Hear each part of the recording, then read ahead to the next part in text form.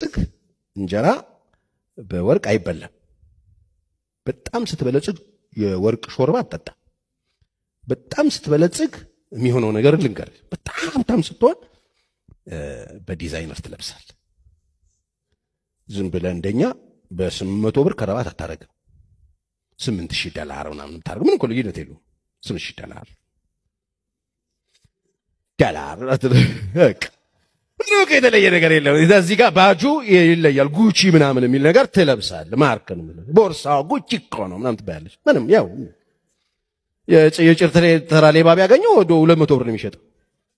ቁም ነገር አያውቀውም። እኔ አንድ ትልቅ ቦርሳ ዋጋው የዛን የዛሬ አስር ዓመት ምናምን ስንት ነው? ሶስት መቶ ምናምን ሺህ ብር ነው። የሆነ ካሪና ኢ ነው ቴብሌ ላይ ያስቀመጠችው።